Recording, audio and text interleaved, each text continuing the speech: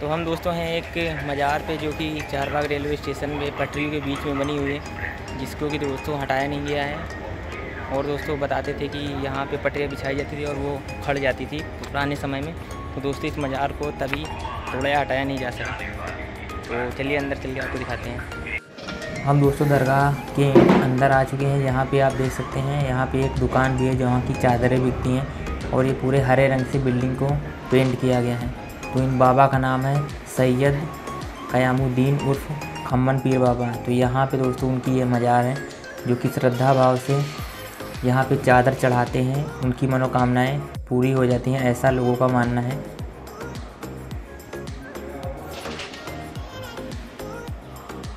तो हम दोस्तों यहाँ से चल रहे हैं अंदर। यहाँ पे एक हॉल जैसा एरिया है और ये भी लाइट ग्रीन रंग से पुता हुआ है। यहाँ बहुत सारे पंखे लगे हुए हैं। और यहाँ पे दोस्तों कोई नहीं है। तो दोस्तों यहाँ के स्थानीय लोग बताते हैं कि जहाँ पे ये मज़ार है, वहीं पे बदेवा नाम का जंगल हुआ करता था।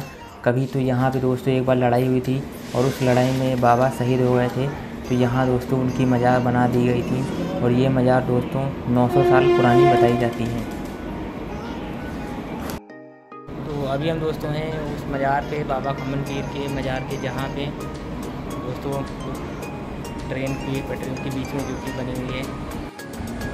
तो यहाँ पे दोस्तों आप देख सकते हैं, इधर भी ट्रेन की पटरी है और उधर भी ट्रेन की पटरी है और यहाँ पे बीच में ये बाबा जी की मज़ार है। तो ये है दोस्तों कुदरत का करिश्मा। तो यहाँ दोस्तों आपको दिखा सकते हैं, उस पार भी ट्रेन की, ट्रेन खड़ी हुई है, जैसा कि आप देख ही सकते हैं।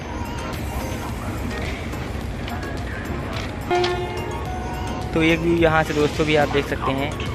उधर ट्रेन खड़ी है और एक ट्रेन इधर खड़ी हुई है और बीच में बाबा जी की मज़ार है। ये मज़ार है दोस्तों चार बाग, लखनऊ में। और यहाँ की आप देख ही सकते हैं, यहाँ पे एक स्टेशन ये दिख रहा है। फ़िलहाल दोस्तों आज की वीडियो में इतना ही। वीडियो देखने के लिए आप सभी का धन्यवाद। जय हिंद।